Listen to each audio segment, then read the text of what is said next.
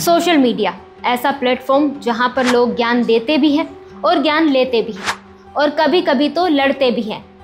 कुछ दिनों से सोशल मीडिया पर दो नाम छाए हुए हैं, ध्रुव राठी और एलविश यादव। ध्रुव राठी जर्मनी में रहते हैं और वहीं से देश में हो रही चीज़ों पर वीडियो बनाते हैं, वायरल होते हैं।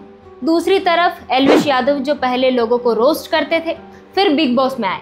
उनके भी कई वीडियो सोशल मीडिया पर सर्कुलेट होते रहते हैं। चाहे वो सांपों को लेकर हो या मारपीट को लेकर। दोनों ही यूट्यूबर काफ़ी फ़ेमस हैं।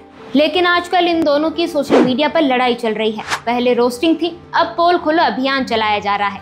हाल ही में यूट्यूबर एलविश यादव ने ध्रुव राठी पर वीडियो बनाया, जिसका टाइटल दिया exposing Dhruv Rathee and his anti India propaganda 41 minute 33 second के इस वीडियो में एलविश यादव ने ध्रुव राठी के बारे में सब कुछ बताया।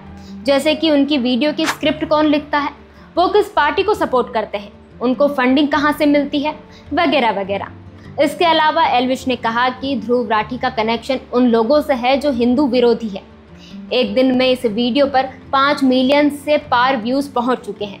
अब देखना ये होगा कि इस वीडियो के जवाब में ध्रुव राठी का क्या कहना होता है। मैं हूँ हिमानी श्रोत्रिय। देखते रहिए, सुनते रहिए और पढ़ते रहिए नेशन मिरर